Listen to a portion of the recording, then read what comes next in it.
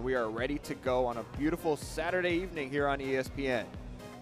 Tritons coming off a most recent win, a huge win for them against UC Davis. That's a UC Davis team that is in the Big West tournament. And they were able to come away with a 1 0 win out on the road, which has been big for their growth.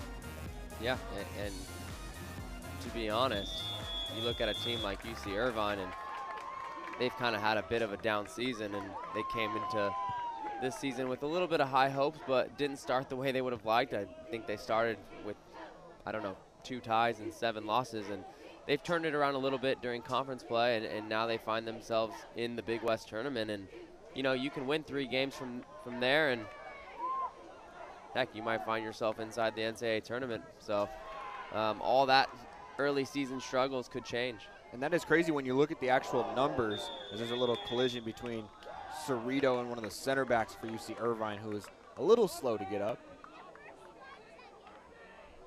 You look at the numbers, and UC Irvine didn't win a single game in the non-conference.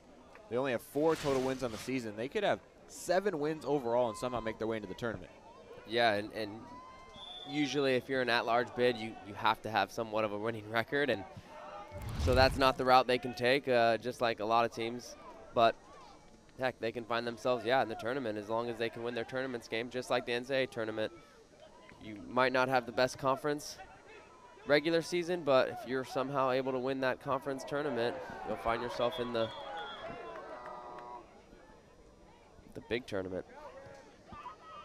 And the record didn't look good, but UC Irvine also played an incredibly hard non-conference schedule. So not winning, of course, is not what you set out for, but credit to Yossi Raz. We take a look at the most recent foul, already a physical game early.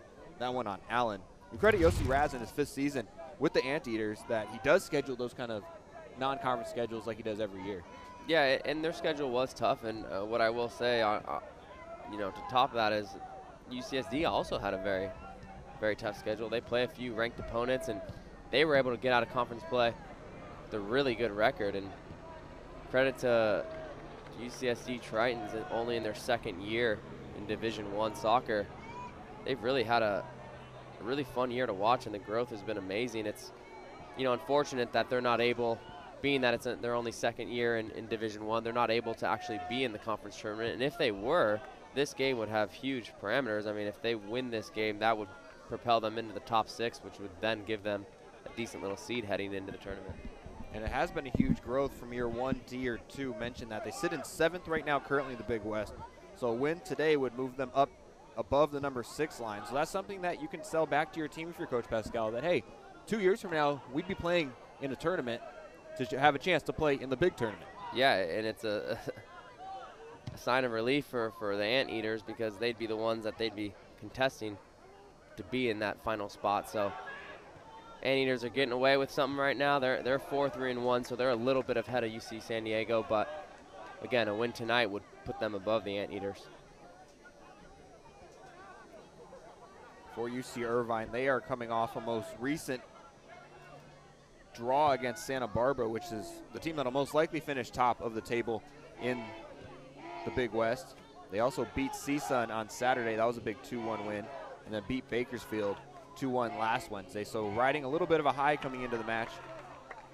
2-0 and 1 in the last three and 4-3 and 1 overall in the conference. So they're looking to finish strong before they head into the tournament. Yeah, and how big was that tie against Santa Barbara? That was a, a postponed game that was made up a few weeks later. And yeah, that tie is going to prove to be huge because you look at Sac State, who just lost recently and, and, brought their record to four and five. And had they not got that tie, they'd be coming to this game four and four. And I'm not sure what their matchup is head to head, but they'd be tied on record if UCSD is able to get a win tonight. There were seeds up in the air before coming into today, but Sac State played an early match against UC Davis and lost.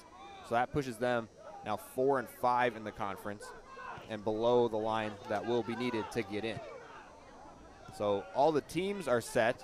Just where will they end up today? And that is why today is so interesting. Here's a big switch of the field as the Anteaters have held a good amount of possession to start the match, as we normally see, but Triton's able to get out and counter, looking to head up the line with Valverde, who has had a very good second half of this season.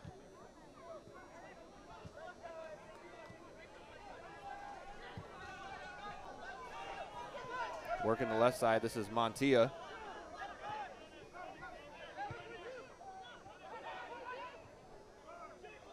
Cervantes looking to get through a couple defenders is Means.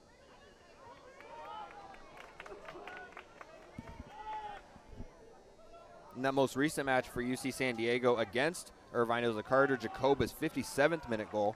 That was a game the Tritons were outshot 12 to 2 in, and they were able to hold their ground. Dominic Peters obviously was great in that match, holding to a clean sheet. But as normal, a goal against the run of play for UC San Diego proved to be the winner.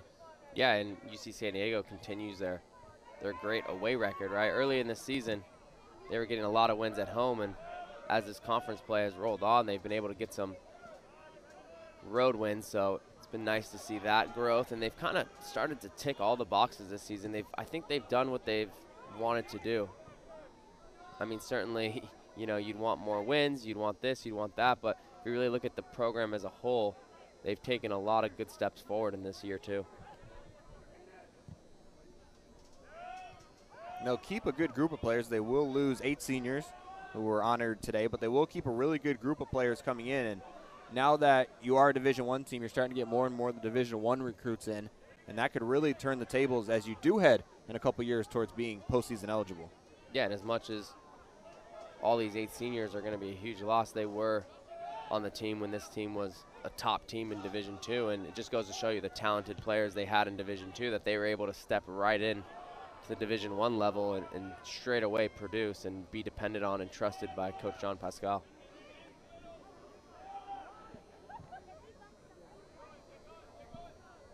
Alessandro Allen has been starting up top with Nick Cerrito. That seemed to be the combination Coach Pascal has liked now because he's rode with them the majority of the end of the season. A couple different combinations up top we've seen this year. We've seen Carvalho and Allen. We've seen Carvalho and Cerrito. But it looks like this Alessandro Allen and Cerrito stuck.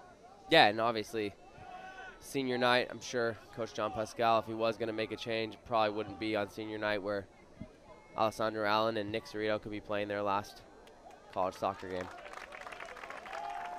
Speaking of somebody who's going to play their last college soccer game, there's Dominic Peters, who has been the rock for this team so far this season.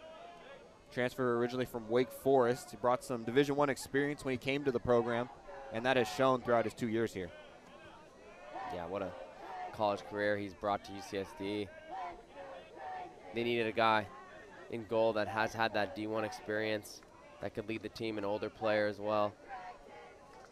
He's done brilliantly and especially in the system that Coach Pascal plays, where a lot is important for your back line and goalkeeper to hold up. Not a lot getting forward a lot of times, especially through the transition to Division One. So he's absorbing a lot of shots and a lot of pressure day in and day out, and he's really stood the task. Yeah, and on top of that, he's someone that's dealt with a ton of injuries this season. His back, his knee. That's why at times you have seen backup keeper Nick Shore come in and a few other keepers as well. So credit to him. He's been able to last all season. Probably needs a break after this, that's for sure, but he's done well and been able to get through it. Good footwork by Alessandro Allen to get out of pressure. And we'll see how Irvine approaches this game. You mentioned they do have seating on the line, but it is their last regular season game as well with their spot locked in. They've been gaining some momentum of late, but once again will be another good test. And there really hasn't been one team in the Big West that hasn't been a test for UC San Diego and likewise for Irvine. Every team you walk in this conference can beat you. Yeah, and I think the records show that. A ton of games that are decided by one goal, a few ties, and when you only play nine conference games, I mean, all it takes is one win at a certain moment, and it'll catapult you into either the top three or the bottom three with a loss. So every game certainly matters a lot when you're playing in a conference that's that tight. This is Ricardo Ibarra. Plays on the left side for Coach Yossi Raz.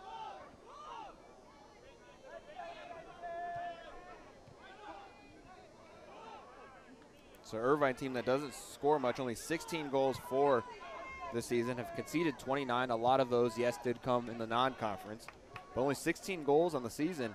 Not a high-scoring Anteater team, not a high-scoring UC San Diego team either. So Goals should be at a premium tonight, and we should see some good structured football here.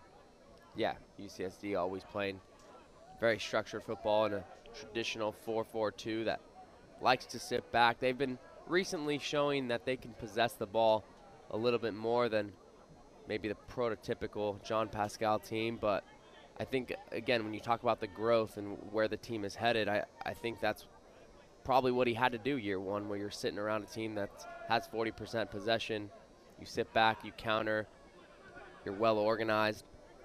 Now you're starting to see that number creep up a little bit, maybe start to get around 45. You know, and, and actually later in the season, it's been where they've sometimes outpossessed teams, and so I think that's something eventually they'll get to where they want to start to dominate games and put games on their terms. But you have to start somewhere. It's not just a snap of the fingers. It comes with the recruiting. It comes with you know building the program in Division One to be able to find the players that you can get to that level. Looking to get forward there was Alessandro Allen,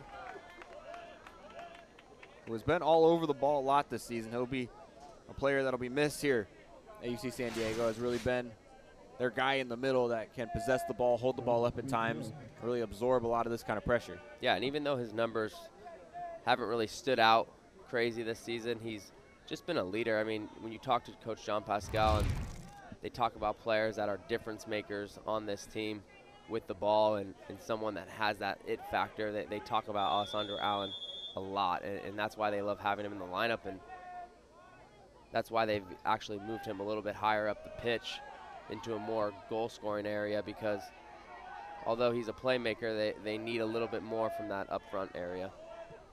And the two games he missed this season due to injury, they could definitely feel his presence not there.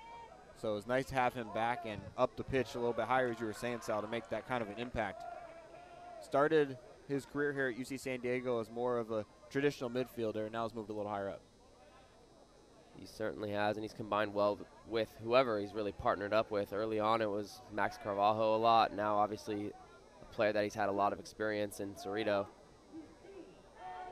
But they're they're a pretty deep team, UC San Diego, and here you see a good chance. And Cross to the middle, Allen looked to pick out Habrick, and just like that, creating something. Yeah, and what a lovely play that would have been just to tap that in to to get a goal. I mean, everything was done right. The overlap, the through ball, the cross, just needed to get that crashing run runner in for the Tritons, and that would have capped off what maybe would have been the, one of the prettiest goals they've scored all season. And that just comes down to getting to the ball first. Yeah, and, and credit obviously to to the Anteaters defender there for for getting back, and those are tough situations where you could get got ball watching a lot, and he was able to get first to the ball and keep the ball out of his own net. Now the Anteaters will look to get out on offense. This is Montilla.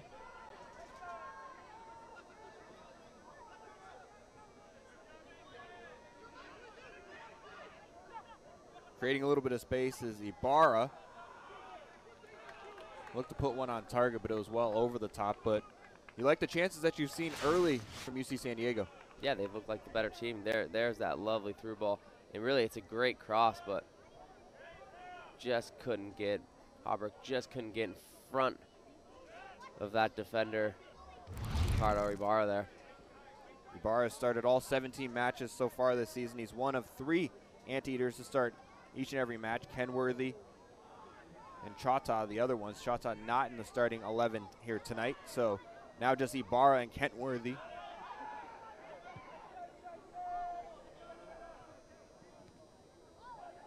Valverde looks to put some pressure right in front of that corner flag. He's had a really good second half of the season. The transfer from UCLA. Didn't see much from him in the first half, but he's really come alive now with three goals and two assists. Yeah, he's someone that has earned a lot more playing time, and you can certainly see him as a starter on the field next year. Scored some big goals when UCSD has needed it the most. Looking to get through a maze of defenders. There's Montanillo. Cerrito. Started the season on the bench to Nick Cerrito, has since moved into the starting 11. He was a starter all of last year as well. Leads the team with four goals, one assist on the season. And when goal scoring was at a premium, he was one guy that you could always look at up top to create. Yeah, he's always going to battle, and that's someone obviously they'll they'll miss.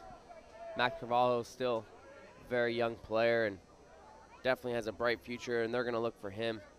And you're going to see him later in this game, but they're going to look for him to really take a, a leap forward next season and really do everything that he already does, but on top of anything, they need him to score some goals and, and become more of a finisher. And we'll see. That's up to Max Carvalho. He certainly has the talent. Sitting on three goals this season from Carvalho. He scored early in the season, then went on a long drought of not scoring before he put two in the back of the net in the same game. So definitely more consistent scoring needed from Carvalho in the future up top. Yeah, I mean, look, if, if you're a center forward for, for a team that plays 15, 16 games in a season, you, would want more than just scoring in two games, right? And and he'll be the first one that would probably say that. So, but when you watch him play, look, he battles, he fights hard, he, he does, like I said, everything it's right. Not for a lack of effort when yeah, you talk about Carvalho. Just, it's just scoring goals that he can get better at. And Habrick. Look at the wheels from Habrick. Ends up losing the ball. No foul call. Tracking back very far was Ibarra. But Habrick looking to turn on the Jets. Yeah, it's the first time I've really seen Habrick kind of open one up this season. And there's a big time tackle from Serpa there. Serpa never afraid of a challenge there. Big tackle that drew a nice celebration from his crowd on senior day. He had a pretty big crowd out here and now gives them something to cheer about. Yeah, Serpa going in hard. Clinical and clean. Yeah, and, and I get a sense that these seniors, that this game means something, right? I mean, UC Irvine is, because of the result for Sac State, they're in the, the Big West tourney, so they're already maybe looking forward to it. A lot of a lot of pressure off of them for this game, but UC San Diego in the early going is really taking it to them, and it almost looks like they're playing with nothing to lose because really they do. I mean, for a lot of them, it's their last game in their career, so after this one, it's all over. So you, you, you can get a sense of that. I think there there's a lot of pride in this game, and they're not playing with so much pressure. Leave it all out on the field.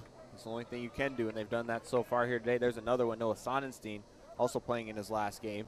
It's been the heart and soul of that back line all season long in his entire career here at UC San Diego, so he'll be one they'll miss as well. Yeah, actually, and, and I think he might be the key in, in the – the big player that they'll lose because for him, he, he's the leader, he's the captain, and he's just like, he, he's the guy that you can always count on from that center back spot to get the job done and, and to rally the troops. And sometimes it's not always, you know, the flashiest player or even the best player on the pitch, but it's the one that players look to who battles through injuries, who you can count on to be on the field, and he's a vocal leader.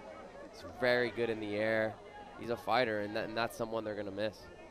We saw a fight from him earlier in the season where he went out with an injury at halftime, and then Sean McDonald subbed in for Noah Sonnenstein, then picked up an injury with three and a half left, and Noah came right off the bench, saw the last three and a half minutes out with an injured knee. Yeah, it looked like he had a bit of a dead leg that game, and if anyone's ever had those, the, once they tighten up and once you're sitting on the bench for quite a while, you can hardly walk that day and the next day, and sometimes if you know, all the way up to a week. So for him to be able to step up in an important three minutes to see that game out and secure that win just goes to show you the person he is, the personality he is. It's he's almost like the Puyol was to Barcelona or the Draymond Green is to the Golden State Warriors. That fighting mentality that again isn't the you're not the best player on the pitch, but you're maybe the important piece that puts it all together. You yeah. can't teach, you just have that. And Noah Sonnenstein for sure has that. Yeah, for sure. And I think that that's what they're going to miss the most, and they have to find that player that can replace that. Poor first touch by the Anteaters will land the ball on the foot of Mason Habrick, who will play it back to Sonnenstein. This is Serpa. Been a pretty evenly matched game so far. Triton's probably had the best chance of the game where Habrick almost was able to put one in the back of the net. So through the first 20, nothing doing on the score sheet for either side as Habrick looks across this one all the way across, but finds itself out of play. There's an anteater down right at the edge of the 18.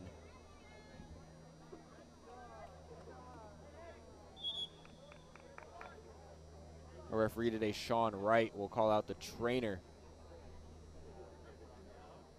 Looks as if that's Nolan DeCenzo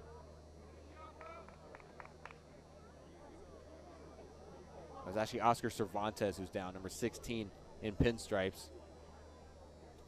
Helping him out there is Ibarra before the trainers come out.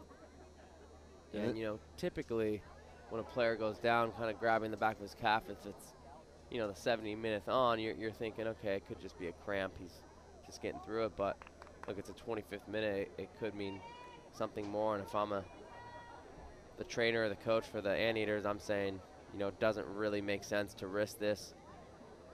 Again, as you're going into the Big West tournament, and all it would take is three games, and they can get to the NCAA tournament, which is really the the goal for a lot of teams at the beginning of the year is to get into that tournament. But I think they're playing this smart and. Oscar Cervantes, a junior from Indio, started 16 of 17 matches coming into today, has one assist on the season. He's a staple at center back, played for the LA Galaxy Academy before making his way to UC Irvine. So hopefully everything is okay with him and he can continue because he will be important in their postseason run. Yeah, I think the goal now is to just get him ready with all eyes on that game. Might have been a calf or, or hamstring, something on the back of his leg that maybe just felt tweak and tighten up there.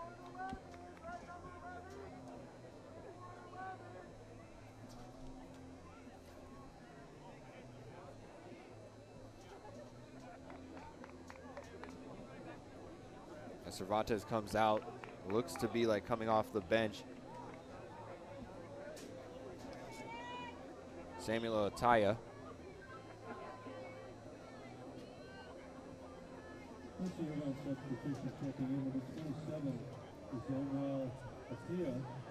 Ataya getting ready to come on the field, and while he does, we'd like to remind you, the UC San Diego Health reminding you that open enrollment is your time to evaluate your healthcare options for the upcoming year.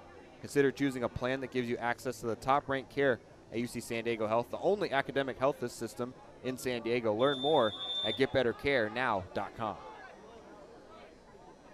Hopefully, Oscar Cervantes gets better care over there on the sideline as he'll come out of the match momentarily for Ataya. Will take over kind of at that center back holding midfield role that pushes back Kenworthy into a more defensive center back role. Taya from Dusseldorf, Germany, sophomore. So definitely experienced in the German game, and see how he does as he's looks like he's slotting in as that holding midfielder number six role. Taya one goal, one assist to his name in his sophomore year. Have you heard of SSVG Velbert 2, the club he played for? The two, I'm, I'm sure, is the second team. I'm, I'm not too familiar with that professional team. I'm not sure if they're in the, you know, Regionalliga, which would be the fourth league, or the Oberliga, which would be the fifth division in, in Germany. Sorry, you're a big Bundesliga one player. No, I actually. Actually, you were two at the time. I was. Uh, I was. I was. My team, Hanover '96, was in the Bundesliga, but I spent a lot of time playing with Hanover's second team, and at that moment we were in the yes Regionalliga, which then became the Tier Three Bundesliga Three. So. A lot of tiers over there in Europe. Yeah, there is. And in Germany, I, when I was there my first year, they were just making that Division Three. So a lot of those fourth division teams were trying to become the third Bundesliga, and a lot of those fifth division teams were trying to become the fourth Bundesliga. So it was a uh, it was a wild time. But I just remember after my my first year in Germany, I was all packed up, ready to come home, and they told me I had to go play with Hanover second team to help them qualify for the fourth division, then Regionalliga. So, and we were able to do it. So I was gonna say, did you help? We we were. I was, was able to win a few key games at the end of that season and help their sent you home. second team. Yeah, which obviously in turn helps the development for that club and, and moving forward. So when they made it to Bundesliga one a couple years ago, that was because of you. No, no, they, they were in Bundesliga one for quite a while before me. They've actually slipped down now to the, the second Bundesliga, but they're having a good year. I think they're in the top five or six, so there's a possibility to to hopefully uh, go back into the first league. But one of their top alumni, Steve Cherundolo, who you know they called the mayor of Hanover, uh, was my teammate. Played in Hanover for I don't know 15 season, has around 400 Bundesliga games, an American, actually from San Diego area, and um, now he's the head coach at LAFC, who is playing against Austin FC in the semifinals of the MLS. So all comes full circle. Tying it together. Yes, it does. A couple substitutions for UC San Diego. Carvalho will see his first action for Cerrito. And we'll also get the first look for Jack Hagan here today. He'll come in for Alessandro Allen. Here's a set piece for the Anteaters, played right through the box and right out of play for a goal kick. So nothing doing there on that set piece on the foul drawn by Ataya. We'll also see Alan Kim and Carter Jacobus for the first time today. So here comes the line change substitutions for the Tritons. Jacobus, the hero from the last match, 57th minute goal. Nice to see Jack Hagan, who've been battling a little bit of injury, get back out there. Alan Kim, always a spark plug on the wing. Got some of those underclassmen coming in now. Guys that will carrying the torch from these seniors after this game. There you see the energy already from uh, Max Carvalho. He's playing up top now with Hagen. So they'll sit up top as the true forwards. Kim will be on the right with Kawamura and Ewan Clark in the center. Carter Jacobus will take his spot on the left. Still same back line with Gibson and Serpa on the outside. Sonnenstein and Walker, the two center backs. Here's Serpa. Approaching 21 minutes left to go in the first half. Still no score between the Anteaters and the Tritons.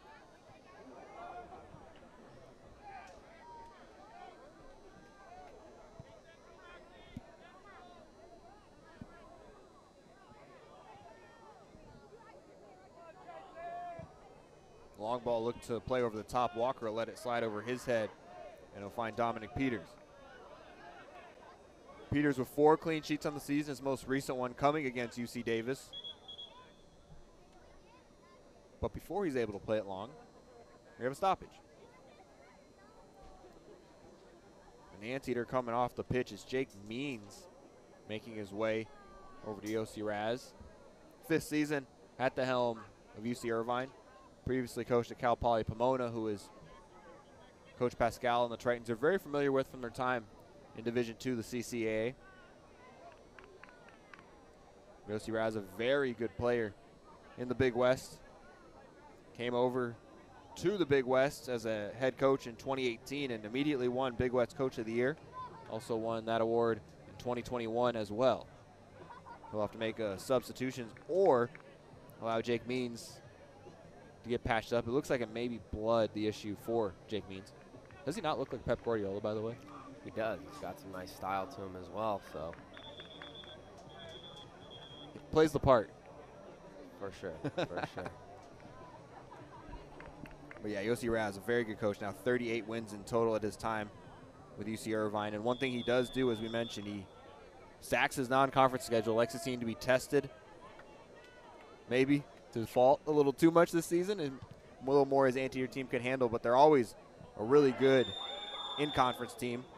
Yeah, I, I mean, I think that's that's smart because look, if if you're, say your goal is to enter in the NCAA tournament at the end of the year, if they're able to get some big time wins, that's going to look good for your record. And if you don't, well, look, you still have the conference that you're probably going to have to do well in anyways. So it'll give you a chance in the tournament for the Big West to, to then get in. So it almost gives you two ways. If you don't play mm-hmm. anyone in the non-conference, those those wins really don't mean anything. So even if your record is, you know, 15, 2, and 1, I mean, if they're all against teams that aren't even in the top 100, then the committee's going to look at that and say, well, you didn't beat anyone, and your conference schedule was, you know, 5 and 2. It's not really going to get you in at an at-large bid. So I think it's smart. You play play the best, test your team, and then go from there. Really. See the set piece sent in by Kawamura. It was a foul.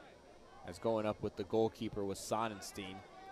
Can't yeah. touch the goalie. Yeah, Kawamura just got under that. He needs to hit that a little bit more driven. Sonnenstein really didn't do much, just kind of got drifted into the keeper there. Hagen does well to intercept that pass. Here's Carvalho. Was on his off left foot. Would have maybe liked him to have that first time, put some on target, but attempting to get back to his more favorable right. But that's the kind of pressure that Jake Jack Hagan brings can get those dangerous spots.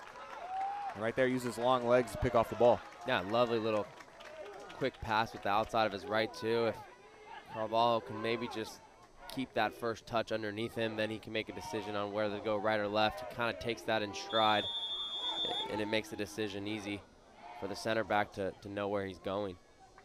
Another easy decision was that foul as Ibarra is fouled. Captain for this UC Irvine team.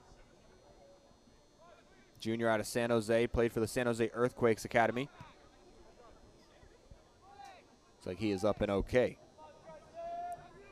Last year, UC Irvine did make it to the Big West Championship where they lost to Santa Barbara, but it was the same situation for the Anteaters. 8 8 and 4 overall in the season, 6 1 and 2 in the Big West. Ended up making it to the final.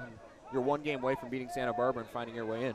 Yeah, and, and obviously Santa Barbara, with their track record, is one of the few teams that, you know, could essentially get an at-large bid regardless. Obviously, they have to have a good season and in that and whatnot, but they're a top team in this country. They're a top program, and so as long as they have a winning record and have some put some wins together, they're usually a team that gets an at-large bid if they don't win the Big West, which obviously they're more often than not slated to win the Big West every season going into the year.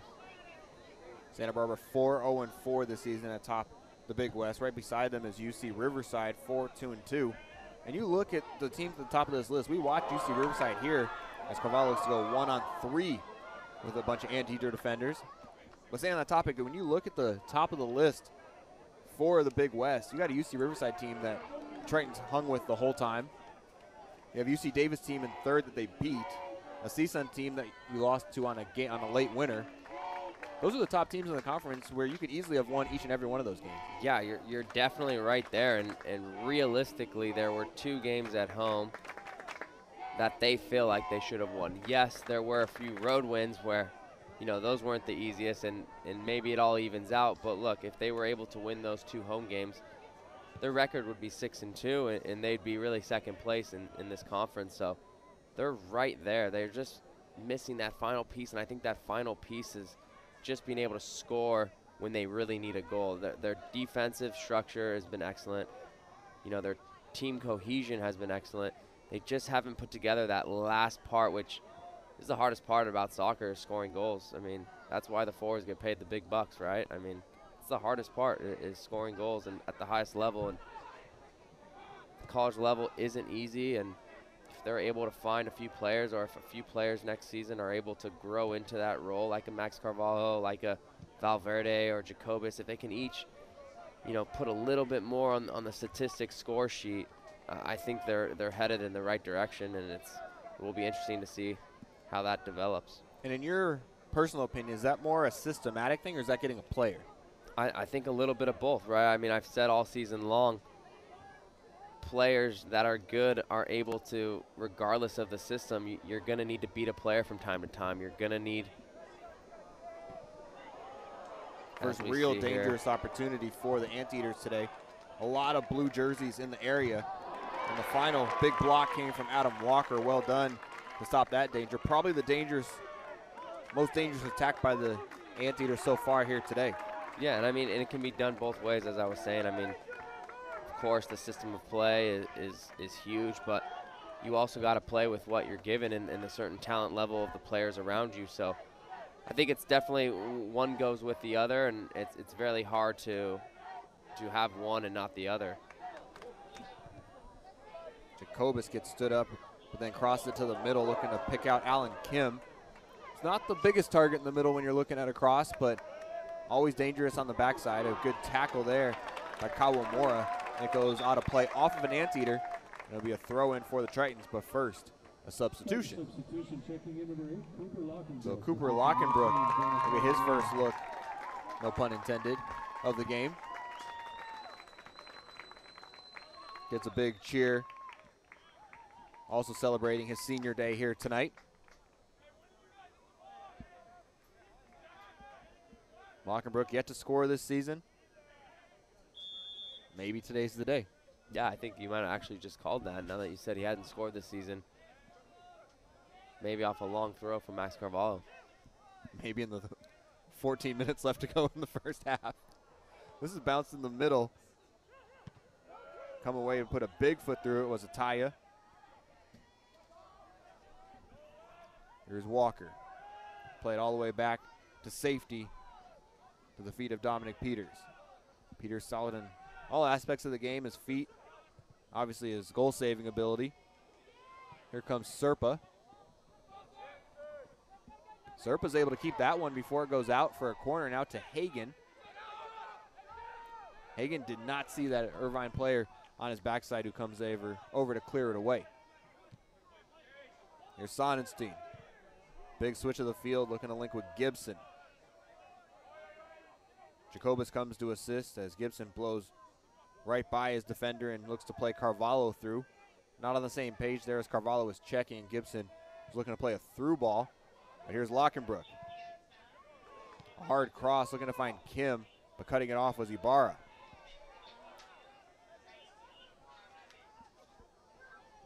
Head up the left side, this is Montanil. Montanil will play it back and now finds the feet of the captain, Ibarra. Irvine looking to grab hold of the match after there were a couple testy minutes. Switching the field of play is to Senzo. And now Lockenbrook has it. Lockenbrook, a couple good touches since coming into the match. And here's a through ball to the speedy Jack Hagan. Couple Tritons head into the box. Ball looking to find Carvalho. He's tackled. Jacobus looked to come in late, but it's cleared away.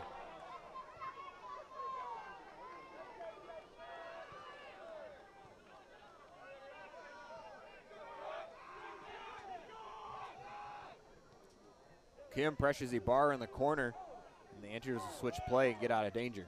Yeah, and the pressure is the right move. It's just too late. Uh, I think, you know, the, the part about counter pressing is as soon as you lose that ball, you got to go. And right there, there was three UCSD players that just really let them out of a situation that the Anteaters shouldn't have been able to get out of. But you like the Tritons to get out on the break, and Jack Hagan really creating a lot. Yeah, Hagan with a good ball there. Actually, that deflection from the center back. May have been the difference. That's DeCenzo just getting a late heel on it. Yeah, it might have slowed it down just enough to maybe give actually Carvalho a chance, but it's a good tackle by Barr on the backside. Made a few key tackles defensively. Solid in the back. That's why he wears that captain's armband. Here comes a set piece opportunity from the Anteaters. It's a good ball whipped right through the six yard box. It's hung around and put in the back of the net. And that's a difference right now uh, that I've noticed. It's, it's a good goal. I mean, and it all starts with how great of a ball that is. It just, he whips that in into a dangerous area and UCSD defender's not ready for it. Just comes off his thigh and falls into a perfect spot here. But that's the ball. Senzo is able to just fight through Sonnenstein, but you're right, Sal. The ball played in low and hard and really put Serp in a compromised position where it just caught him. Yeah, I, am not sure he thought that that ball was going to get through. He maybe thought Sonnenstein was going to win the header or or whatnot, but you always got to kind of assume that it's going to get through and just caught him off guard. And these are the kind of things, right, that have happened to UC San Diego, and this is the type of things that hopefully they can grow from. But stuff like this is, is never easy to grow from. I mean, look, if they end this season with the four and five conference record and a regular season just below 500, you'd say that's a pretty good season for a team that's only in their second year in Division One. But I know Coach John Pascale wants more, and every year is going to be a battle. I mean, there might be a season 10 years from now where they might revert to a record back like this, and that's why college soccer is so difficult. And it's going to be hard to, to take a step forward next season, even though, you know, you put so much into this program and you're growing year after year consistently. And I think that's the, the goal for Coach John Pascale is to improve at least for the first four seasons and really try to get them ready to make a run in the Big West tournament when they're finally able to do it. And each and every team that's come in to UC San Diego this season has said this is an incredibly tough team to play against. And that's credit to how hard the team plays and the system Coach Pascale has put together. And when all of a sudden that comment from those teams are hard to play to be like, this team is actually hard to beat, that's when all of a sudden you look at the big step and you're like, wow, they're a top team. Yeah, I mean, and, and you see it on the field. They're in every game. There's no doubt about that. And is there improvement from last season? Certainly. And, and so now what's the next step? Is it maybe it's not even that they have a better record. Maybe it's just that they're able to close out you know some game especially conference games that are really close. Are they like a game like this that they've really just been dominating from the from the start? How did these translate into victories and into wins in the standings? Because that's what's going to matter at the end of the day as well as they play as well as they look. You know it's a results based business and and that's what needs to happen. The goal for the anteaters can arguably say is against the run of play so far here today. Best chances of the match have come to UC San Diego, but at the end of the day, it's UC Irvine who's on the board, and it's 1 0. And now you're playing from behind, needing goals. Alan Kim going to squeeze through a pack of anteater defenders, but a little too heavy on the touch through. Kim has brought a spark to this team in the second half of the year. Him and Valverde really solidifying their spots on the wings. Now you see Kim playing in more of a forward role. Which at first you watch Kim, you thought just maybe he's ventured over there from his right outside midfield role, but he's providing a little bit of pace. Yeah, I, I like personally I like him when he's a little bit wider. I, I think he's a better 1v1 player and can kind of go at you a little bit. And so I prefer to see him on the wing, not so much in a role where he switched with Carvalho like he was for a second there. I know that was just temporary, but I think he's at his best when he's able to get wide, take a few guys on, use his pace, and whip in some crosses. And it's shown a few times this season when he's when Valverde's been on the other side and getting on the end of some of those crosses. Two assists on the season for Kim. They came in the same match, both to Valverde.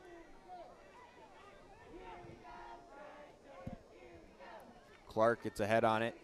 He's played well in his holding midfield role this season. Hagan looking to provide some pace. But Ataya is able to get to the ball first. Here's Clark tracking back, pokes it to Sonnenstein. Under eight minutes left to go here in the first half from Triton Soccer Stadium.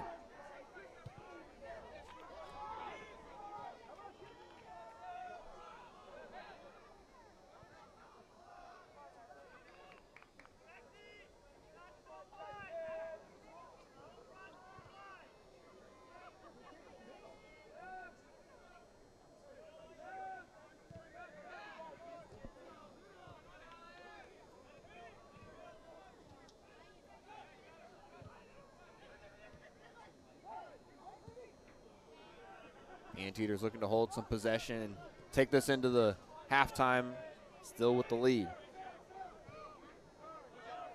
Yeah, and that goal gave UC Irvine a little bit of confidence, more on top of the ball. Uh, they're a little bit, you know, they were rattled at the start for sure, and now they're definitely on the ball, touching it, more confident.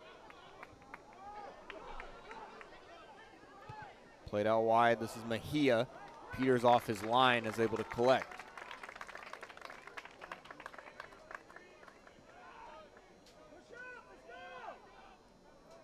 There's three anteaters who will look to sub in at the next opportunity.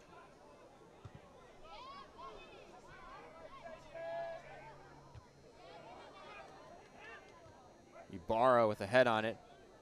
Ataya going to play a little 1-2, but ends up losing the ball. If you're Kim, you maybe have to go after that ball and not wait for it to come to you. That would have been a good opportunity for the Tritons. Carvalho tracks back and adds some pressure.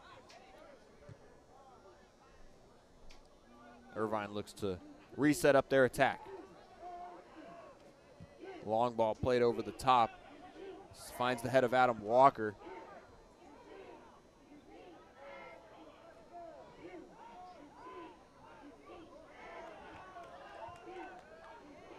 Hagan finds Jacobus. Tritons touch it back and forth. Hagan never scared for a collision. All over the ball right in front of that Triton bench. And gets called for the foul. I think his hair makes him look faster, but an incredibly pacey player, and we love the energy that we've seen from Jack Hagan this season. Yeah, and I think he actually had a goal that was called back that that would have been a nice set piece a few games ago where he got in and they had called him just offside. So he certainly adds something to the offense and, and certainly off the bench. Hagan on the season, one goal, one assist. Mentioned could have had another, had a goal called back. Local kid from Torrey Pines. And he'll be a fixture with this team. Almost assuming you'll see him in the starting 11 next year. Had moments where he cracked the starting 11 this season. But you like the pace, you like the effort. Really makes an impact going forward for this Triton team that sometimes needs that person to go ahead and get forward.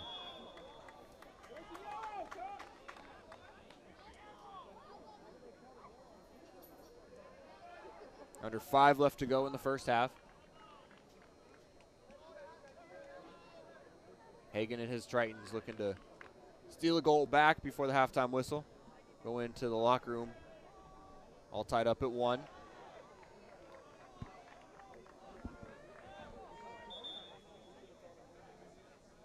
These two teams met for the first time a year ago. It was a 2 0 win for UC Irvine.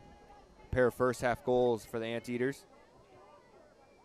A couple substitutions for UC Irvine. Connor Manning seeing his first action of the match, and Isaac Powell, number 25, as well.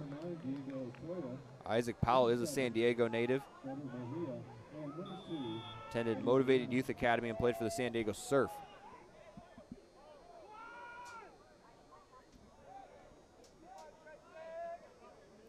Quite a few San Diegans on the UC Irvine roster, and we'll see if one day some of those San Diego kids will stay local uh, at UCSD in the future. It's a competitive recruiting market out here. A lot of good talent. The San Diego club teams between University of San Diego, San Diego State, and UCSD. A lot of good teams out here in the area. And actually, John, Josh Kenworthy, who just played that ball, that center back, he actually spent a little bit of time in the preseason with the San Diego Loyal um, as he was looking to possibly go professional as he was undecided if college was right for him. But he was already committed to the UC Irvine and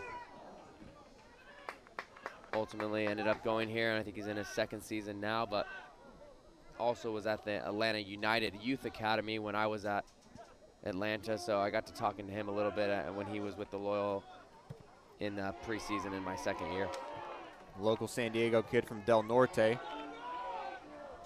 He's one of the players that started each and every match this season. Has really been a fixture in the back line for UC Irvine. Yeah, he's a kid with a bright future, and it's not often you see a lot of young players getting that much playing time, especially in the Big West, and especially at center back. Yeah, at center back in the Big West. So he, but he's a player that's had a lot of experience at at some high levels, and he's certainly one that's going to look to play beyond his college years. Under two minutes left to go now in the first half. And Noah DeCenzo goal has been the difference so far here on a set piece that was just batted around inside the six yard box. Eventually, the center back was able to put it home. See if the Tritons can do anything with the final 90 seconds. Lockenbrook is open if Serpent wanted to use the number eight navy blue. Inching closer. Here's Kim in the corner. Looking for any space around Kenworthy to play that cross in. Whips a good ball into the box. It goes all the way to Jacobus. Maybe took an extra touch. Could have taken a shot. Ewan Clark had a chance to head that in, but it skimmed just over the top of his head. But another dangerous chance for the Tritons. Yeah, and as I said, that's where Alan Kim's at his best when he's able to just get end line and, and whip in these dangerous balls. And you see if it was just over the flying head of UCSD, but landed at the back post of Jacobus, who ended up not doing enough on the ball. 30 seconds left to go. This is Sonnenstein. Kim was in an offside position, was coming back, didn't play the ball. So no reason to raise the flag. 15 seconds left to go. We'll see if the Tritons push one more time. Walker has it here. Plays to Asa Gibson. There may be an anteater opportunity. That was almost a foul on Gibson. Referee doesn't blow the whistle. Anteater crowd doesn't like that. With only two seconds left, that will indeed end half number one. One final play. Sal, one final thought. Yeah, it's unfortunate for UC San Diego. I thought they've really been the dominant, more dominant team, but it's kind of been the story a little bit in conference. To second or even third. So a lot at stake here. As you look at the Tritons not finishing towards the bottom as they were picked in the preseason. That spot is for Cal State Bakersfield. They beat a Cal Poly team. They beat UC Davis. Tell you what, a, a conference is can't be more jam-packed with that with seven teams that have four wins on the season. And what if UCSD wins tonight? Maybe they, they get to the first one to get to five wins, which would be a feat in itself. You want parity, you find that here in the Big West. So we are back underway here in half number two. Teams uh, switch sides, and the Tritons have the ball. It's Walker, Sonnenstein, Serpa, and Gibson on the back line. Kawamura and Clark as the two defensive midfielders. Alessandro Allen's back into the match. It's Valverde on the left with Habrick on the right and Cerrito up top. So just as the Tritons started, they run back out here. It's a good sign also to see number 16 in pinstripes, Oscar Cervantes, back on the pitch. Remember, he came off injured in the first half. So his health obviously is in good standing if they're going to run him back out there in the second. Yeah, I mean, look, I'm, I'm not a trainer, but the way he went down, in, in my opinion, maybe he's not worth risking him in, in, a second 45, but maybe everything checked out and it was just kind of some weird thing that that he felt. Uh, but yeah, positive sign to see him back out on the field. Anteaters looking to go in full health on the way to the postseason. This is one in the backside of the box. It's a good save, probably the closest opportunity of the match for UC San Diego as creeping in the back door, Cerrito could have had one. Yeah, Luke Pruder there, amazing reaction. And really that was a perfect set piece. It was a driven ball. You see, unlike some of the balls they had trouble with earlier, where they maybe just were under hitting them or floating them a bit too much, that one was just driven from a distance. And UCSD connected well at the back post, but goalkeeper did an excellent job to really shift his body and get his body in good position to make that save. Luke Pruder, only a sophomore goalkeeper. He also has played with the LA, LA Galaxy Academy, originally from Redondo Beach. But probably the best opportunity now of the game before is a Habrick one now. This set piece. Yeah, just a driven ball from Allen and Cerrito just getting in back post and putting his hands on his head, wondering how that didn't go in. He connected well with it, but Luke Pruder does really well to keep that out. That's almost one of those balls when you're Cerrito, if you go in, you're like, if I just get a foot on it, it's going in the back of the net. Yeah, and that's certainly what he was thinking. Was you're so close to the net you know, it's a driven ball. You don't have to really put any pressure to this. You just kind of have to stick your leg out and redirect it. And he did that. I mean, he did all you could do. The only thing I would say, maybe that helps in that situation if you try to keep that ball low. If you can try to just hit that into the ground, it's really tough for the keeper to react with their legs when, when they're thinking everything with their upper body. So you're taught when balls come into the box, especially with your head, to head down on the ball it's not far off when it comes to your feet either. So Triton's knocking on the door. Cerrito knocking on the door, which could have been his fifth goal of this season. Said the Tritons will still play from behind as the center backs connect Adam Walker and Noah Sonnenstein.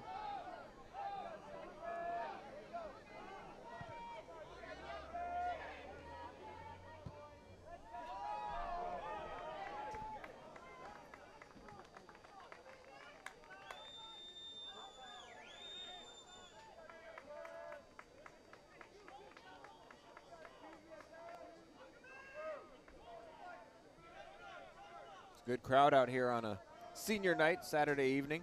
Some Anteater fans have also made their way down from Irvine. It's gotten good crowds out here at Triton Soccer Stadium all year long. The support for this UC San Diego team has been immense. Yeah, that's something that I don't see changing much.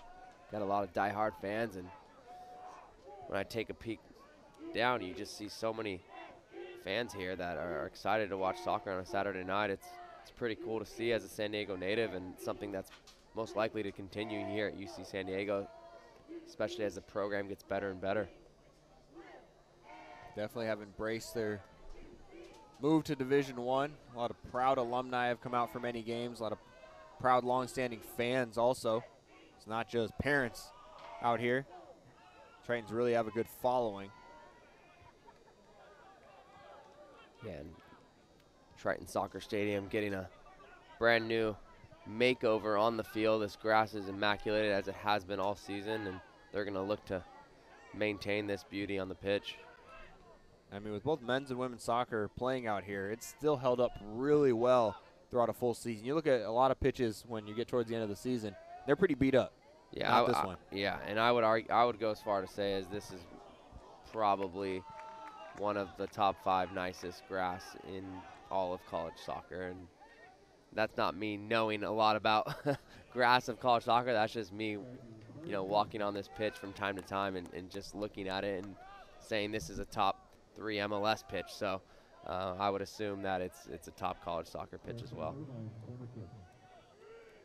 Corner for Irvine. Here as Anaya, number six in pinstripes, set to check this one in. About five white jerseys have made their way inside the six-yard box. It's a good cross. Another well played in ball. Maybe not a well played in shot. And that's a really tough one. Half volley. Yeah, to connect with there from Barum in there. Hit that off the short hop is very tough to keep that down. But if you hit it cleanly, But if you hit it cleanly, you don't have to swing that hard either. I mean, you saw how that ball just jumped off his foot. Cerritos now tackled. And the Trents look to go quickly.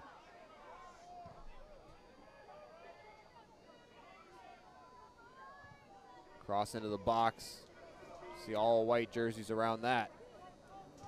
Nothing there. Alessandro Allen gets a foot on this, and now Habrick has it. Not letting the Anteaters get out of their defensive third. Originally were the Tritons, but Habrick isn't a fan of his jersey being tugged and thought he was fouled. Yeah, it wasn't too much of a reaction from the bench as to why that wasn't called, so don't know how much that was a foul.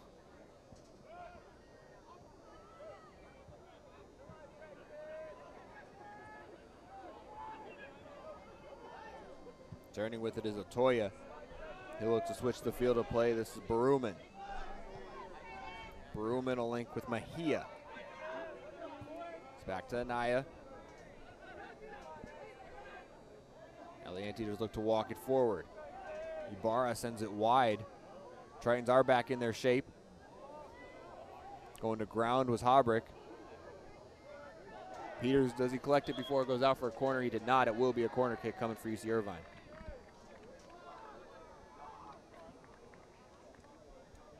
Irvine corner kick.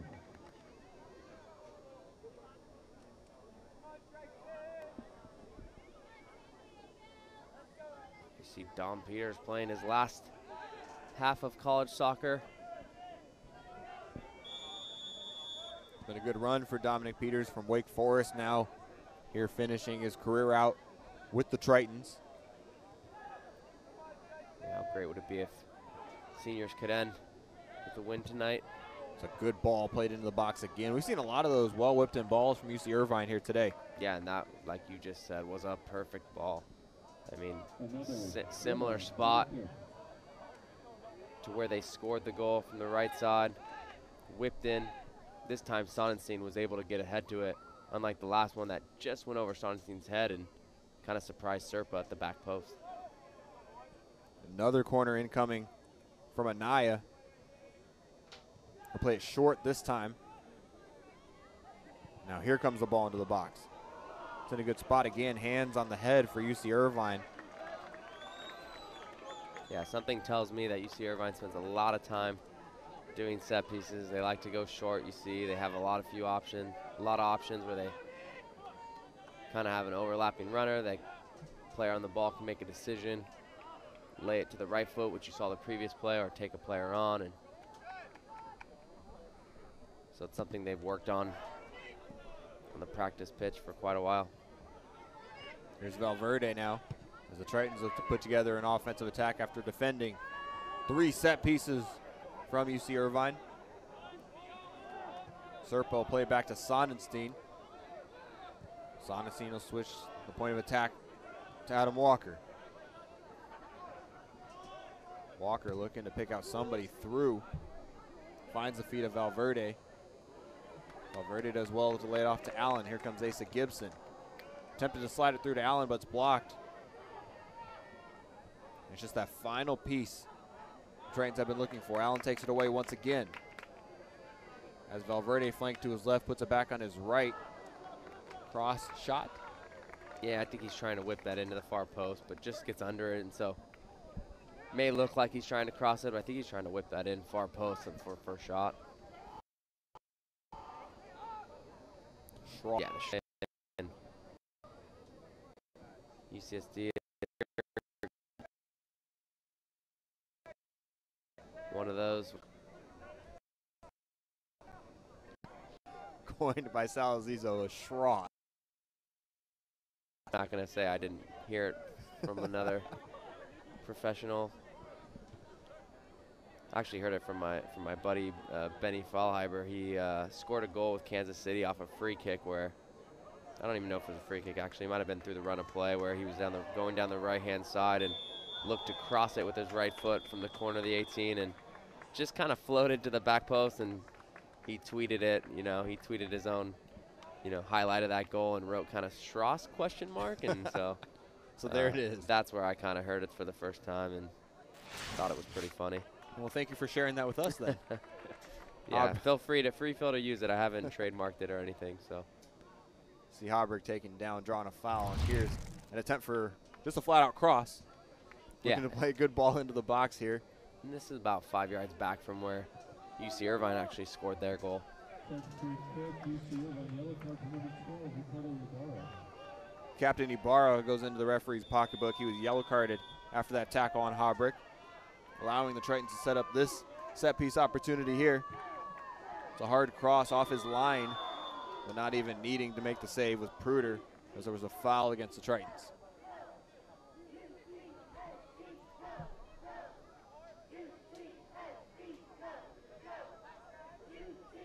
Sonnenstein always dangerous in those set piece opportunities.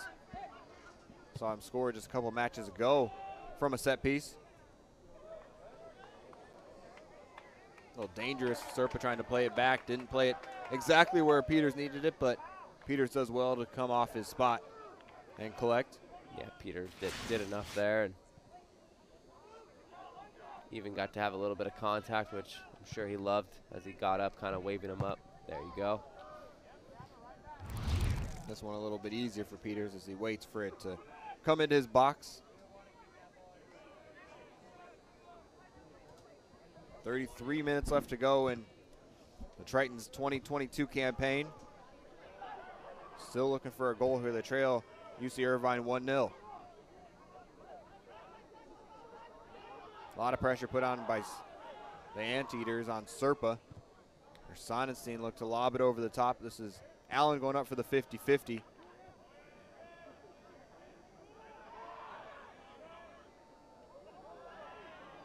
Kawamura is dragged down a little late whistle there, but indeed he will draw the foul. So here comes another set piece opportunity for the Tritons. Yeah, it was a late whistle, and I was wondering if he was going to blow because I thought it was a foul as Kawamura did get tripped there. And another free kick in a similar spot. And Allen on it once again. The last two, he's tried to drip, drive it to the far post. The first one better than the second. Looks like it'll be Allen's ball to drive in once again. This one's more lofted, in a good spot for Cerrito. It just slides right through the six yard box. Valverde able to stop it before it goes out, but then is quickly dispossessed. Yeah, that's a good ball from Allen. similar to his first one, just driven at the far post and had a few Tritons that almost got in the end of it. I feel like that had opportunity for a couple different Tritons to bring down, most notably right over the head of Cerrito. Valverde off the outside of the boot trying to go with the fantastic cross. Yeah, just couldn't get around it there. I see, you see what he's trying to do with the outside his foot, just curl that. But this one's a little bit more bent from Allen, and oh, Cerrito just ducks his head there at the end. I don't know if maybe he heard a leave it type call, but that's me. You're not I'm leaving going- it No, I'm not leaving it when you got a, a chance in the top of the six, with the goal in front of you. Maybe felt also that happen, tends to happen when you go up for it and you feel like, ah, am I gonna? I can't really snap this one down. Uh, It's probably gonna go over the net. what you don't want to do is have it hit off the top of your head and just be a wasted opportunity over when you have somebody sitting on the back post. Exactly, and and that's my guess as to what he probably did there, because Cerrito's not one to kind of duck out of a header there. Tritons look to put something together here again. Allen plays it wide to Valverde. Cross into the box goes right to the hands of Pruder. But the Tritons asking more questions with 30 minutes left to go in the match. Yeah, and that's a tough spot. I mean, from where Valverde is, I, I think he needs to think about where he's going to put the ball and less about if the defender is going to block it or not. I think he's trying to just get it around the defender too, too much to where, yeah, he gets it around the defender, but it's just right at the keeper. And so, in those moments, actually, if you're able to open up your body and, and look like you're going to cross it, but then just hit it right through the defender's legs, and, and and you can do that on a cross, you can do that on a shot. Um, but it, it's open more often than not, and, and I feel like not enough young players, especially at the collegiate level, see that and, and use that. But at the professional and the highest levels, it, it happens quite a bit.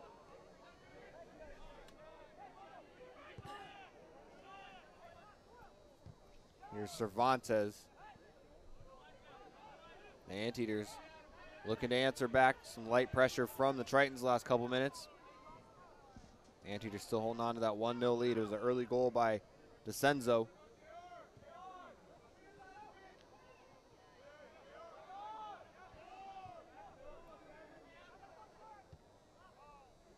Good switch of play and good first touch. Anteaters coming up the left. Low cross into the box.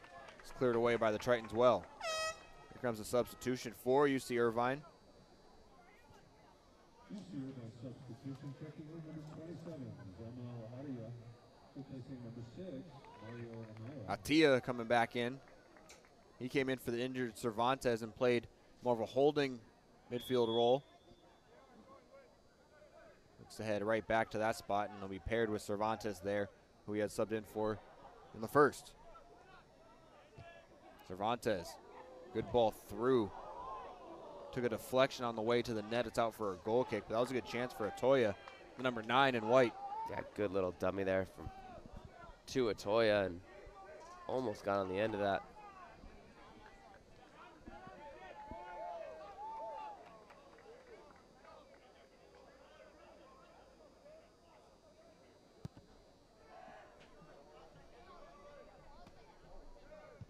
Fifty-fifty ball won by the Anteaters. Kept in play momentarily, but then goes out right around midfield.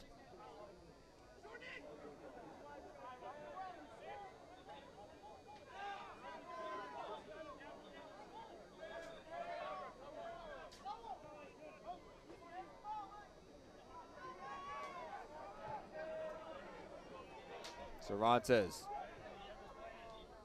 Back to Mejia. Good flip over the top, but well done by Walker to head it back to Sonnets. Next takes me to Peters. Yeah, very cool, calm, and collective there from Walker just to give that little touch to Peters.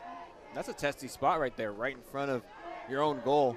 Yeah, that's just a it's just a reaction play. Sometimes it just it'll pop up, and you know that's the difference between a player that has soccer brains and soccer intelligence opposed to someone who just plays for fun. Valverde. Triton's putting a little spell together.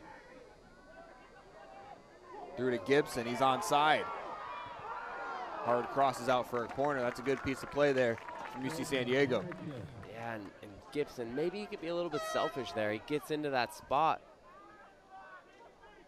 I mean, he's only a few yards away from the keeper. If he could just hit that as hard as he can there and maybe roof it. Near post? see, yeah, right there. Just, I mean, there's so many bodies and, and not enough Tritons there running in, but there's a clear path to the keeper. I think if he maybe has a go at it and then maybe even deflects and gives a different angle to your attackers, it's really tough to cross the ball with what looked like four anteaters blocking a lot of your players. So, especially if it's on Gibson's left foot, just kind of hit it high and near post and or low and far, however, however you see it at that moment. But I think a shot was the right play. Off the line. Another good opportunity for the Tritons. That one just cleared away by the Anteater back line. And UCSD is knocking on that door with 26 minutes left. Feel like something's coming here for the Triton. Yeah, if they keep pushing it at this pace, you think something's going to roll in. Talk about a last man clearance. And eyes for the back of the net. There's nothing falling so far here today. There's a handball against Sonis. Yeah, and remember, I mean, not to this extent necessarily. I think they've been better in this second half, but you know, there was much of the same in the first half. They weren't knocking on the door quite as much, but you know, it got silenced, and you see here, just coming off Sonnenstein's shin and goal line clearance from Cervantes there. You know, and, and like I said, they were doing this in the first half, and all it took was a free kick from the Anteaters, and they were able to get one. So they certainly can't just throw all the numbers forward. They need to finish out this game and give themselves a chance to get back into it. Baruman with a good cross. Serpa got a head on it. Felt like he was fouled, but instead it'll be a corner kick for UC Irvine. Nonetheless, good clearance by the senior celebrating his senior day. Another set piece opportunity we've seen UC Irvine be dangerous on today. Yes, they have. And as much as some of these seniors are playing for UC Irvine right now, they have another game. They're playing in the Big West tourney. They're already on their way, so definitely more emotions, especially playing at home tonight for the Tritons. That opportunity just skimmed wide for UC Irvine. It was poor Shahidi getting a head on it, but just not enough power behind the header to change the score sheet. We're under 25 left to go in the match. You know, Taylor, you asked me in the pregame how important is it for a team like UC San Diego to end the season on a high note, but also end with a conference record that's above 500. And now, after seeing the conference and seeing how many teams are stuck on four wins, I mean, if you can get to five wins in this conference, that's that's more than a win for this program. That's you're a top team and you had a top season, and especially when you look at some of the games that they just kind of let go you know, kind of similar to this one, right? Where they're they're playing at home, they're losing a close match that probably they shouldn't be losing. So, yeah, it would be great for UC San Diego to come back and get a fifth win in this conference, and they have 23 minutes to do it. And it all starts with that clearance by Walker there as that had eyes for the back of the net as well, but Adam Walker came through in a big spot. Here comes some substitutions for both teams. Carvalho getting run up top as well as Hagan. Same substitution that Coach Pascale made in the first half, changing out his two strikers. Yeah, it'll be interesting to see with with Cerrito and Allen being a senior if they're going to get some more minutes, maybe the last five minutes to see what they can do, being that they're seniors and, and this is most likely their last college game.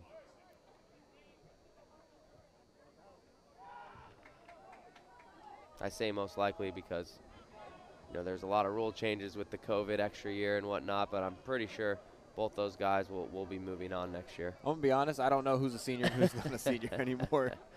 Uh, we watch a lot of these teams and people are on their sixth and seventh years. It feels like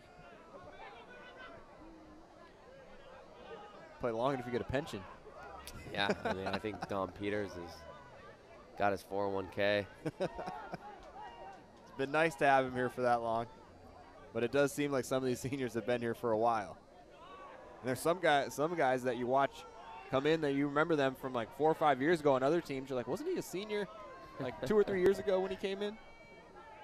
But it has been great on a serious note for the NCAA to grant a lot of extra eligibility for these players that have had to miss seasons, miss time with COVID, and really get them the full experience that they've needed at the college level because a lot of that was hurt with COVID. Yeah, and, and certainly was, you know, a lost season. I mean, whatever games were played that year for a lot of different sports in the NCAA, it was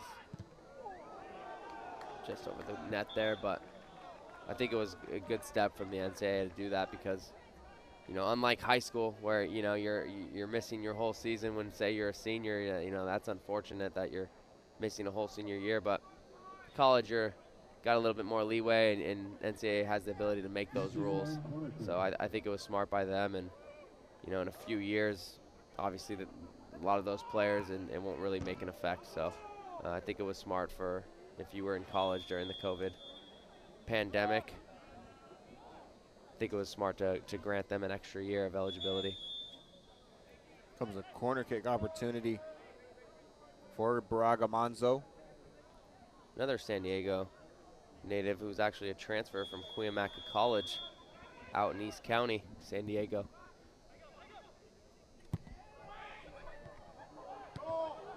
Cleared off the line once again by the try. Seen a couple of those on both sides today. Ball's cleared directly off of the line. Not the hardest goal line clearances as they're kind of right at them, but if you didn't have that player at the back post, they would certainly be goals because they had the keepers beat in both situations.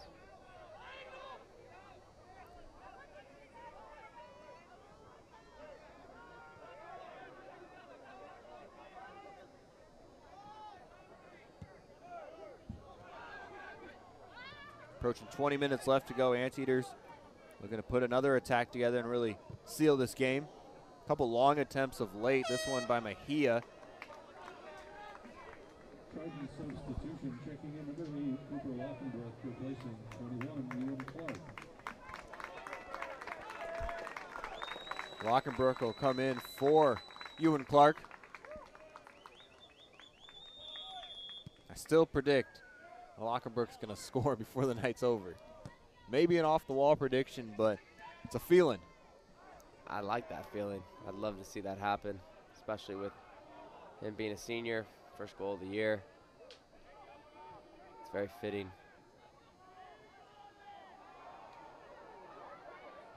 Needs to get in the box though. Can't score from out there. I mean, some people can, but I don't know if that's really in the range. Yeah, I don't know if that he has that in his locker, but At this point, we'll take any UCSD goal to get them back in this and make this game exciting for the last 15 minutes. Here's Kawamura.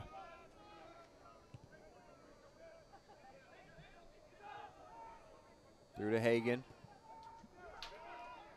Trains have done well holding some possession in the second half.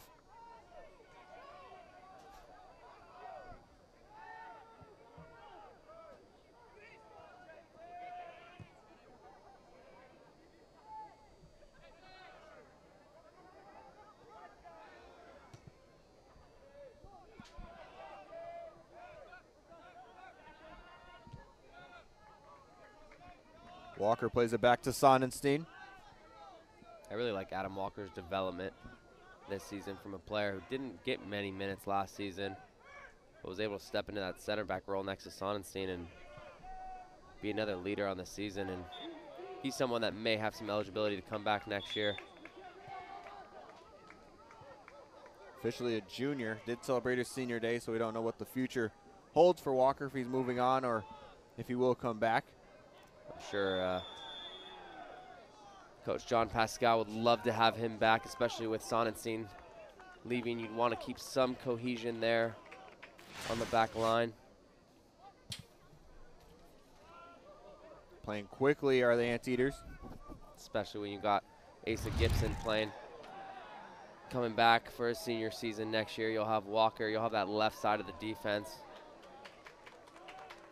And also, we've seen Sean McDonald fill in nicely at the center back spot. I'm sure he'll get some minutes next year at center back as Sonnenstein and Walker presumably move on.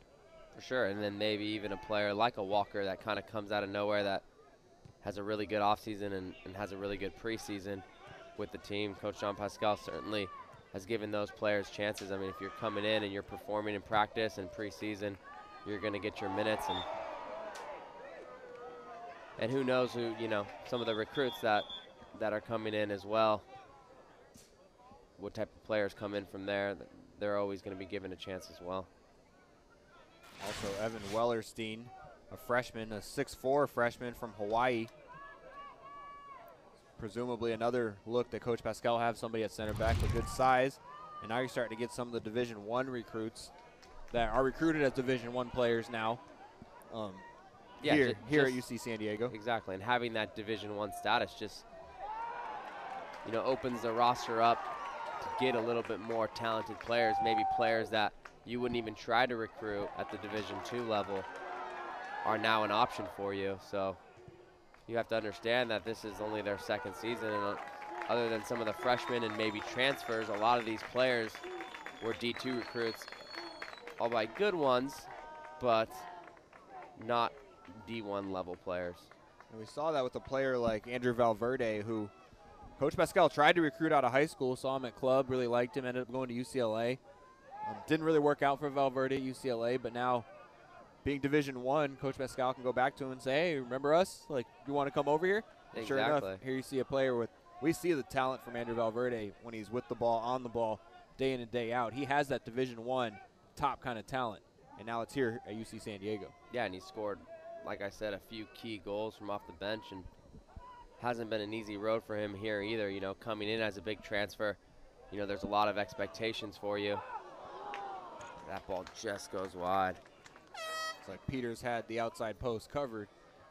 But when you're transferring from a school from UCLA, for whatever reason, maybe it's you're, you're not getting the playing time.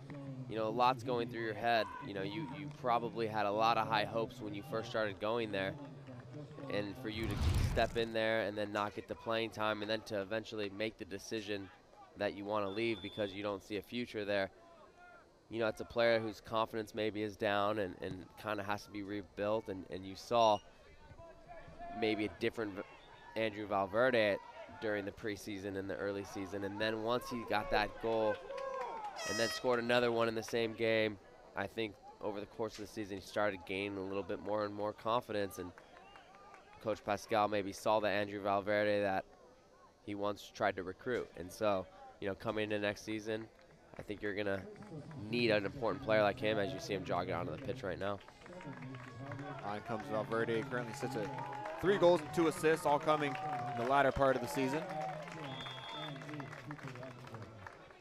yeah, as his numbers have gone up, I mean, if you extrapolate those numbers over the course of the rest of the season, he's your leading goal scorer and, and towards the top of the assists as well. So that certainly can be someone that can put a five or six goal season in there. Like I said, that you, you're, you're going to need if you want to continue to compete at the D1 level.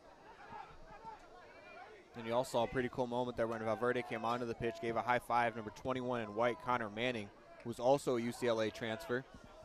So seeing somebody on the opposite side, kind of going through the same thing. Started at UCLA, now have made their way somewhere else in the Big West. Strong play by Carvalho. Now looks to link Cerrito through, but Cerrito's in offside position. Yeah, and being a UCLA alumni in myself, I, I know a lot of those players that maybe just don't get the playing time. A lot of them are top recruits, top recruits that go there that just aren't able to break into that starting group or, or get the playing time that they wanted, that they maybe thought they were going to. You know, much like a Kentucky in basketball or, or some of these top schools at Duke and, and whatnot, and then you see them transfer to, you know, maybe a mid-major school, and suddenly now uh, they're a big factor there, and they're starting to be able to shine. And so it's just a matter of time for some of these guys. Sometimes they never get that confidence back, and that's unfortunate. But for a guy like Andrew Valverde, next season is going to be key for him. More of a lofted cross into the box this time. Luke Pruder is able to come out of his goal and collect. A little slow to get up. Good size on Luke Pruder, six foot five.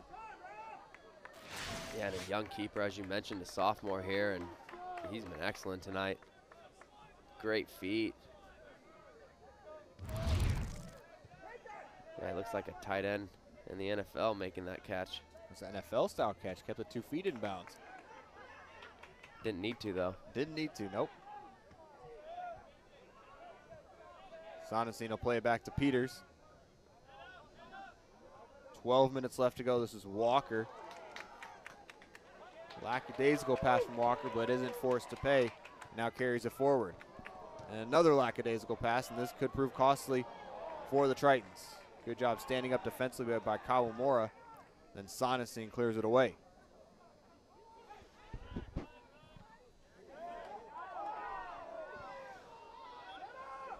Took a while for our official Sean Wright to blow that one dead, but Kyle Moore did look like he was fouled on the play. That's been a couple times Kyle Moore has been fouled, and we've been curious whether Sean Wright blow the whistle or not. He has both times.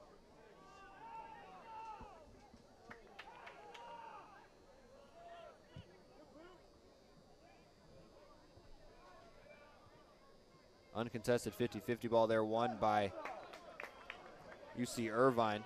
This is Walker on the way to Gibson. Gibson has a little space in front of him.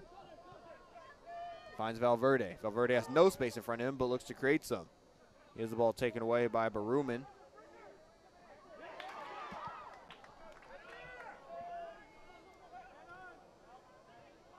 Sonnenstein doing well to come over and slide it away from Means.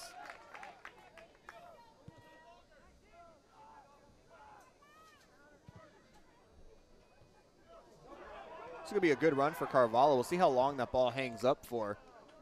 Didn't hang up long enough for Pruder to let it come into the box, but he does the right thing and clears it away.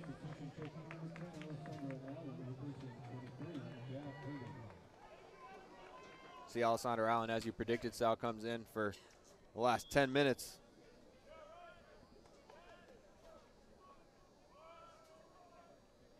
Now you have Carvalho, Allen, and Cerrito all up top. Coach Pascale emptying the tank with his strikers.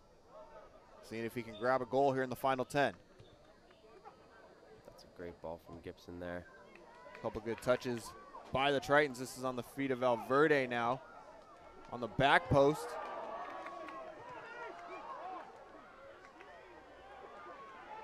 Harbrick going to the far post. Valverde's there, just didn't aggressively enough go out and win the ball, and it's cleared away. Good pressure here from the Tritons. Some good crosses from Valverde and Harbrick. Valverde knocks it wide to Gibson. Gibson uh, shot takes a deflection. Excuse me, cross takes a deflection. It's out for a corner.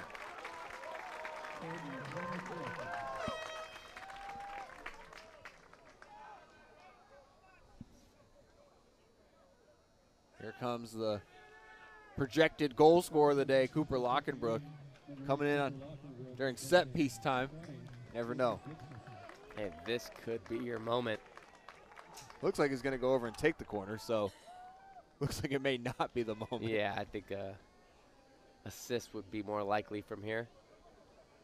Maybe he hits a Schross that goes in the back of the net. Really, everything will come full circle. Coming in, whipping it with his left. Will be an outswinging corner kick from Lockenbrook. Play to the front post, a long run on it. Takes a deflection to go out. Tritons will have another chance. Feel like something's coming here for UC San Diego. Yeah, the crowd's starting to get loud. Starting to get into it. Just over eight final minutes in the 2022 season. Ball's headed away, finds Allen. Allen looked to put it back in on goal. It takes a deflection, and it's going to run out for yet another corner. There comes another cross that Lu- Cooper Lockenbrook will send in. This one will be in swinging with his left. Give me another name you, you think could tie this game up. Sonnenstein on senior day.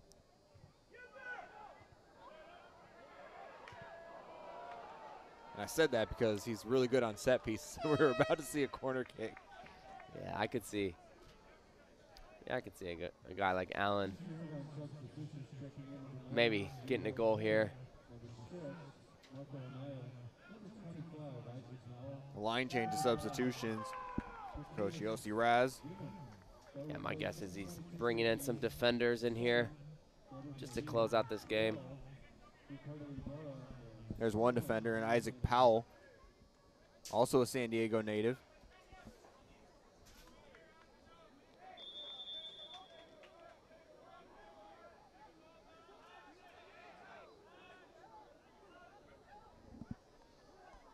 Also from San Diego Surf.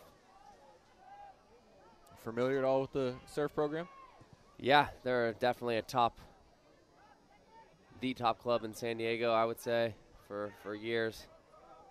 They've expanded into different markets, but when I grew up, it was Del Mar Surf and a few other clubs, but they've been able to kind of take the leap forward here, and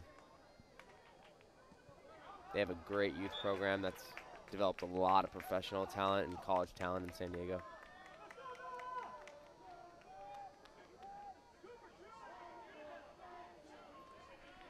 A long throw in from Carvalho on the way. He does have the range to reach it inside the six, and he does just that. Now it's back to Carvalho. Cross towards the back post. Sonnenstein with a head on it goes wide. Just skims off Sonnenstein's head there. Gonna miss that mustache. Gonna miss header opportunities like this. This is something special that you see from Sonnenstein. Definitely a threat. And 6-4 on set pieces. Always a target. Not to mention everything he does defensively.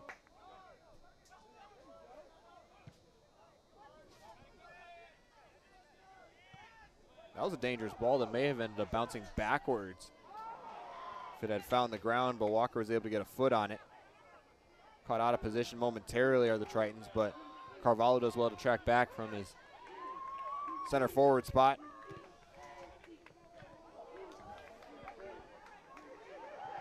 Cerrito in an onside position.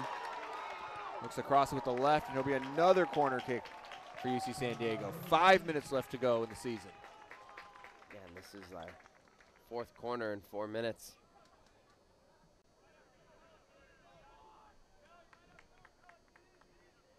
I think UC Irvine made some subs to bring in some big boys can win these headers on set pieces. Lockenbrook.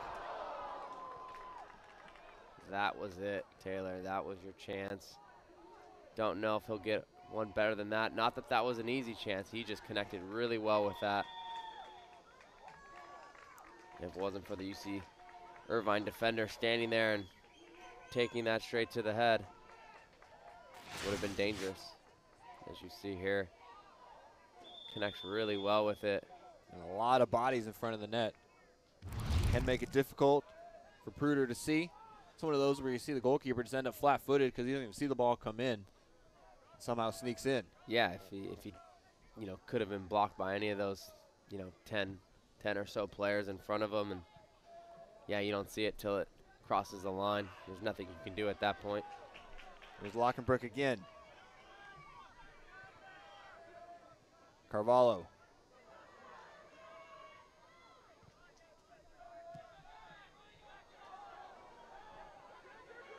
Lockenbrook comes back, collects. Three and a half left to go.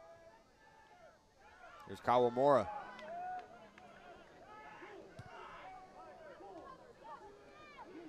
Valverde brings it back on his right. Looks to find Cerrito over the top. A little indecision from Pruder. Not enough behind that cross by Cerrito. Yeah, I think he's just trying to wait it a little bit too long and just tries to go with the outside of his right back to Carvalho. It's a great ball from Valverde there, and you like to see Cerrito hit this with his left. He just, little indecision there. yeah, he just gets caught in between two minds, and the ball kind of creeps up on him. But I think as he's approaching that ball, he needs to be setting up to hit a shot, and maybe took his steps wrong. Tough ball, but if you're able to open up the hips there and really swing that right foot, you can put a good connection behind the ball and maybe score a spectacular goal. Not saying that's easy by any stretch. No, and, and if you're a confident striker, right, you're, you're confident enough to where you don't even have to go around it. You're just sprinting to it and, and feeling confident that you're just going to volley this with your left foot. Yeah, I would have definitely gone around. Gotten around it, yeah.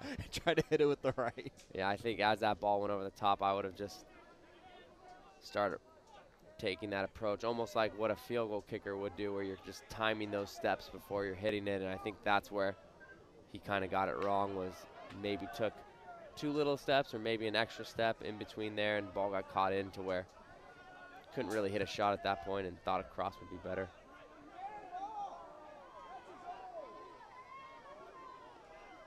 Latoya knocked down by Lockenbrook. Referee says play on. Two and a half minutes left to go in the match. Still 1-0 UC Irvine. The goal in the first half by Noah DeCenzo has been the difference. Can the Tritons change the narrative? They'll have just over two minutes to do just that.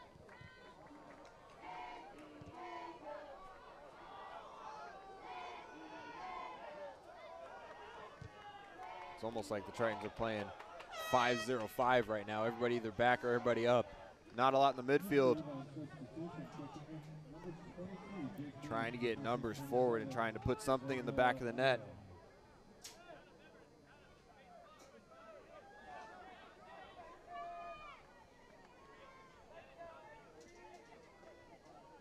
Jake Means comes back onto the pitch.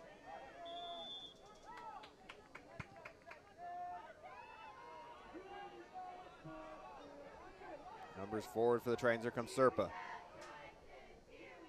Serpa makes the overlapping run and played through nicely. Cross into the box. Flicked on by Allen. It's knocked around inside the six. Yeah, and Allen's gonna want that one back at the near post. I think he just just missed the header there.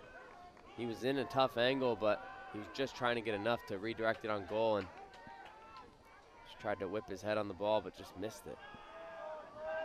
A lot of time being taken off the clock by Pruder there.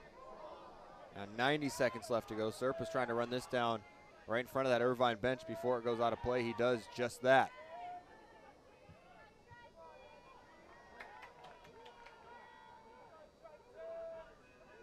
Here comes Sonnenstein. Everybody getting forward for the Tritons. Approaching one minute left. Diagonal ball from Lockenbrook. Finds the feet of Habrick. Now Allen. Officially now one minute left to go in the match. Habrick has space over on the right. He's now inside the 18. Takes a deflection, goes out for a corner. Clock is ticking, 45 left to go. Lockenbrook will head over to take it. Peters inside the box. Everybody up for UC San Diego. The fans up as well. It'd be nice to What if Peters gets it? grind a tie out of this. Yeah, Peters, that would be. Towards the back post. Sonnenstein! That may have been the chance. The senior Sonnenstein gets ahead on it with just 30 seconds left. Would have been a poetic, poetic ending to the career of Noah Sonnenstein. This one's just blasted out of play with 10 left. Maybe too late for the Tritons. They'll get one final ball in, but it's cleared away by UC Irvine, and that will indeed end the 2022 season. UC Irvine heads to the postseason. They knock off UC San Diego 1 0 on senior night. Again, credit UC Irvine. Grinded out another 1 0 victory and